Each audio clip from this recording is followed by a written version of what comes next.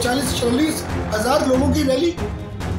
और ये चालीस बच्चे क्लास में नहीं, जो बेचारे ज्ञान प्राप्त करना चाहते हैं। ठंड पड़ जाए तो छुट्टी, गर्मी पड़ जाए तो छुट्टी, बारिश पड़ जाए तो छुट्टी। जितने भी महापुरुष है, उनकी याद में तो छुट्टी ही छुट्टी। इन सबको मिला के शिक्षा की छुट्टी।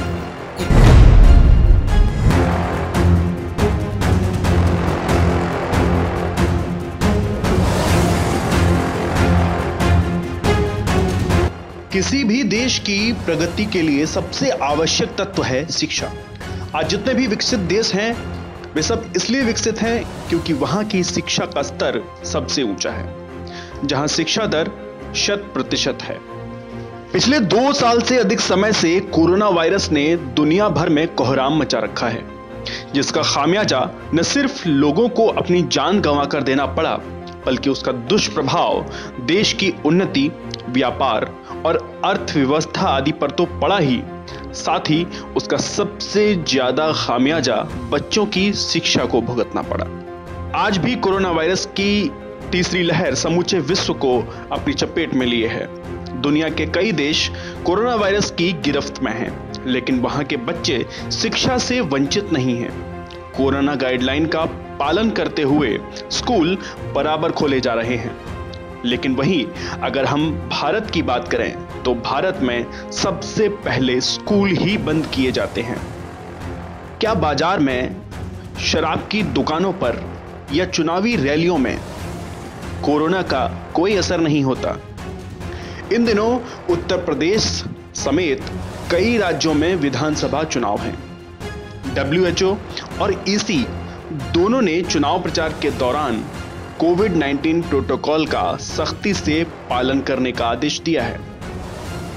लेकिन प्रदेश में कोरोना के नियमों को ताक पर रखकर चुनाव प्रचार तो सैकड़ों हज़ारों की भीड़ के साथ जारी है।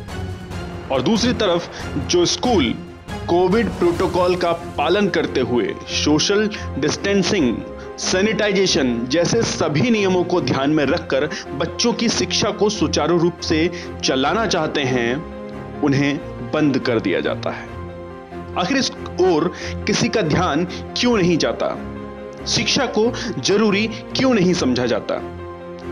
जब हमारी टीम ने जमीनी स्तर पर जाकर इसकी जाँच की तो एक और अजब कहानी सामने आई, जहाँ प्राइवेट कोचिंग सेंटर बिना किसी एहतियात के भीड़ के साथ धड़ल्ले से चल रहे हैं। लेकिन अब सवाल यह भी उठता है कि अगर सभी प्रकार के शैक्षिक संस्थाएँ बंद करने के आदेश हैं तो यह आदेश कोचिंग संस्थानों पर क्यों लागू नहीं होते? इसको लेकर जब हमने फिरोजाबाद प्राइवेट स्कूल एसोसिएशन के अध्यक्ष डॉक्टर मयंक भटनागर से बात की तो सुनिए उन्होंने क्या कहा। मैं doctor Mayank Bhatnagar manager director kids corner senior secondary school and edify world school देखिए प्राइवेट कोचिंग सेंटर्स तो एक बेसिकली समाज को बिगाड़ने की दिशा में है। स्कूलों की उपस्थिति, स्कूलों के अंदर उपस्थिति जो बच्चों की है, वो इन कोचिंग सेंटर्स की वजह से ही नगण्य होती जा रही है। और सदैव सारे स्कूल संचालक यही इल्ज़ाम झेलते हैं कि वहाँ पढ़ाई नहीं होती। सच्चाई ये है कि कोचिंग सेंटर्स के अंदर ना तो कोई भी उनके ऊपर कड़ाई है, ना अनुशासन है। इसलिए लड़की, लड़के और लड़कियों के बीच में एक खुली छूट दे दी जाती है। बहुत कम समय के लिए वो पढ़ाते हैं और जिस समय वो पढ़ाने जाते हैं, उससे कम से कम एक घंटा पहले या पौन घंटा पहले लड़के लड़कियाँ आते हैं और आपस में बहुत बातें करते हैं। तो वहीं से वो किसी और दिशा में मुड़ जाते हैं। और बच्चों को ये चीज़ बहुत पसंद आती है। विद्यालय के अंदर हम लोग पूर्ण रूप से अनुशासन रखते हैं। हम लोग बिल्कुल, क्योंकि हमारी इम्पोर्टेंस सिर्फ़ एजुकेशन पे होती है तो हम लोग अनुशासन को वरीयता देते हैं। तो इससे उनके उस इंजॉयमेंट में फ़र्क पड़ता है। दूसरी चीज़, जहाँ सरकार की बात रही तो सरकार किसी भी देश की आर्थिक प्रगति सिर्फ़ उसकी शिक्षा से नापी जाती है। उसकी रोज़गार कितने रोज़गार कितने हैं उसके देश के अंदर, उससे नापी जाती है। लेकिन यहाँ तो पिछले दो साल से सबसे बड़ा जो उन्होंने एक अटैक पॉइंट बना रखा है, वो सिर्फ़ स्कूल्स हैं। कोई भी वेरिएंट कोरोना का जब भी आ रहा है, सबसे पहले उठा के वो लोग स्कूलों पे प्रहार करते हैं और सबसे पहले स्कूल बंद कर देते हैं। अब जब बच्चों के लिए भी वैक्सीन बन गई है और व्यापक तौर पे स्टूडेंट्स को, जैसे पहले अभी पहले दौर में 700 बच्चों को मेरे यहाँ वैक्सीन लगी, एक ही दिन के अंदर। दूसरे परसों आयोजित किया गया कैंप, जिसमें लगभग 500 बच्चों के लगी तो लगभग पूर्ण रूप से हमारे बच्चे, बच्चों को वैक्सीन लग चुकी। उसके बाद भी विद्यालय ठंड के नाम पे बंद कर दिए गए कि तेईस तारीख तक विद्यालय बंद है। हो सकता है उसके आगे भी बंद छः तारीख से पहले सोलह तारीख तक, सोलह से तेईस तक, अब तेईस से इकतीस तारीख तक इस तरीके से सबसे ज़्यादा स्कूलों क्योंकि स्कूल उनको रेवेन्यू नहीं देते। इसलिए उनका टारगेट पॉइंट सिर्फ़ स्कूल है। और ये कोचिंग संचालक जो है, वो कहीं ना कहीं कहीं ना कहीं प्रशासन तक पहुँच रखते हैं। मैं कोई आरोप नहीं लगा रहा, लेकिन फिर ये कोचिंग सेंटर्स के ऊपर उतनी कढ़ाई क्यों नहीं होती, जितनी स्कूलों पे होती स्कूलों का मुख्य उद्देश्य, क्योंकि वो अगर रिज़ल्ट ओरिएंटेड हैं वो रिज़ल्ट देंगे तब वो आगे बढ़ेंगे। और आप उठा के देख लीजिए कई कोचिंग्स के अंदर तो कोटा आ, में जो बच्चे टॉप करते हैं पूरे ग्यारह महीने वहाँ पढ़ते हैं और मात्र जब वो यहाँ पे एक महीने के लिए अपने घर पे आते हैं तो ये लोग खूब पैसों का प्रलोभन देंगे। दो दो तीन तीन चार चार लाख रुपए उनको देकर ये कह देते हैं कि तुम कहो कि तुमने यहाँ से कोचिंग ली और उन बच्चों का सक्सेस रेट दिखा देते हैं। तो क्या ये पूर्ण ईमानदारी से कार्य कर रहे हैं? बच्चों के भविष्य उज्जवल करने का कार्य कर रहे हैं? ऐसे कई कोचिंग सेंटर्स हैं जो ये कर रहे हैं और बाकायदा प्रशासन ने रंगे हाथ एक कोचिंग को पकड़ा था जो बच्चा क्लियर भी नहीं कर पाया क्लियर भी नहीं किया था जिसने आईआईटी उसको उन्होंने अपने यहाँ का टॉपर दिखा दिया था।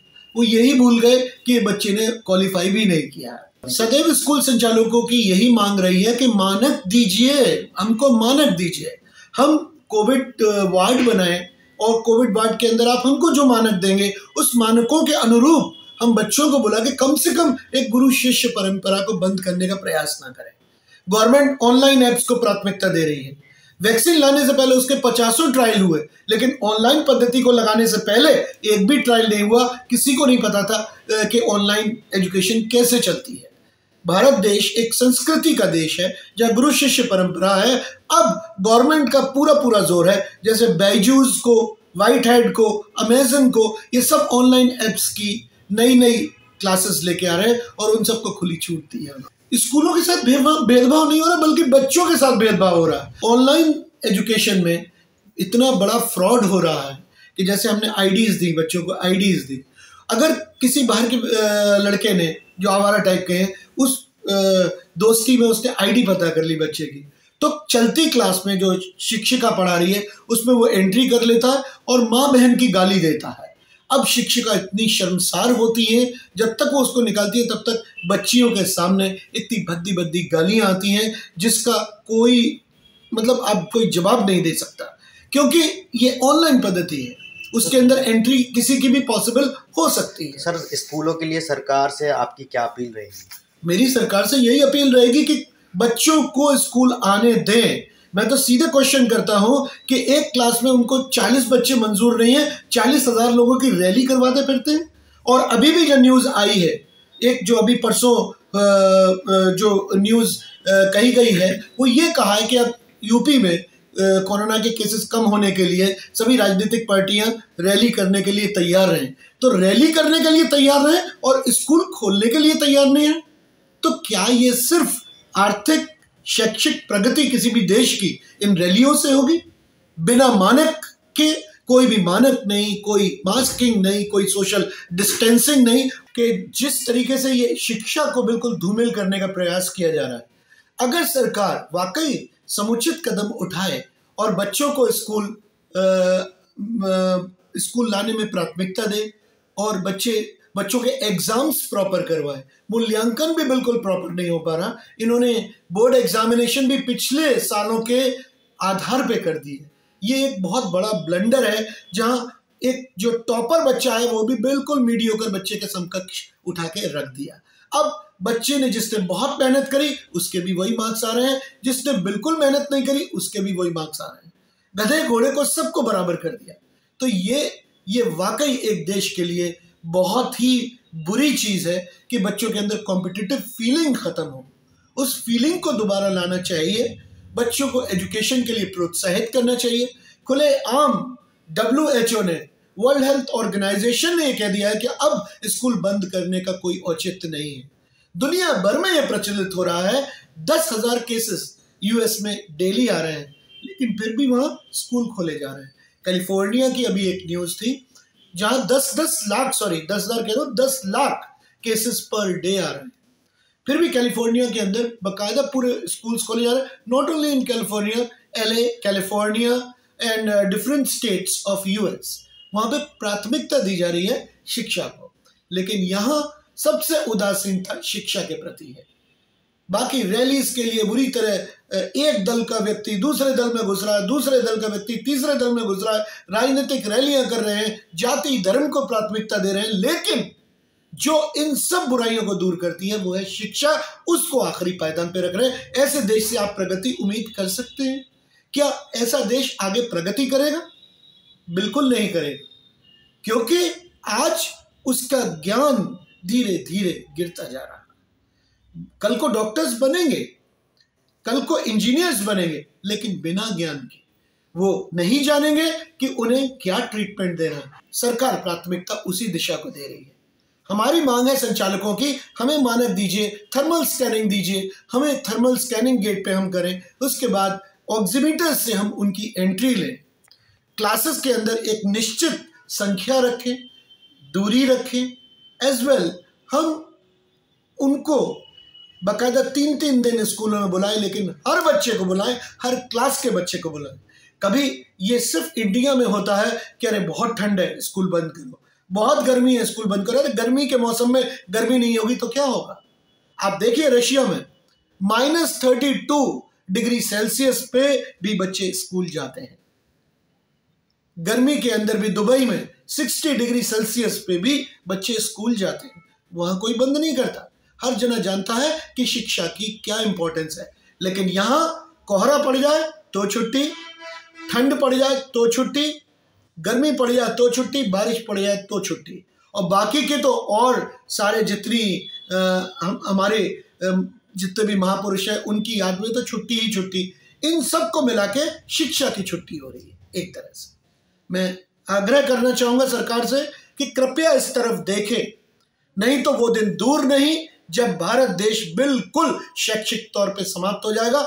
लेकिन अब सवाल यह भी उठता है कि अगर क्या कोचिंग संचालक और रैली करने वाले नेता मौसेरे भाई हैं? इन्हें लोगों की जान की कोई परवाह नहीं है और ना ही किसी के आदेश की चिंता है। इस ओर प्रशासन का ध्यान क्यों नहीं है? अगर आप ये वीडियो फेसबुक पर देख रहे हैं तो हमारे फेसबुक पेज को फॉलो कीजिए। और अगर आप ये वीडियो यूट्यूब पर देख रहे हैं तो यूट्यूब चैनल को सब्सक्राइब कीजिए। और हाँ प्ले स्टोर पर जाकर क्या ये न्यूज़ ऐप डाउनलोड करना मत आखिर कितना है प्रधानमंत्री नरेंद्र मोदी के एक दिन का खर्च? सिंधिया परिवार की संपत्ति के बारे में जानकर अंबानी और अडानी के भी होश फाख्ता हो जाएँगे। क्या आप जानते हैं कि आरबीआई पुराने और कटे फटे नोटों का क्या करता है? और अगर अंतरिक्ष में किसी अंतरिक्ष यात्री की मौत हो जाए तो उसकी डेड बॉडी के साथ क्या किया जाता है? ऐसे ही इंटरेस्टिंग और मज़ेदार फैक्ट्स और न्यूज़ पढ़ने के लिए के I A news app download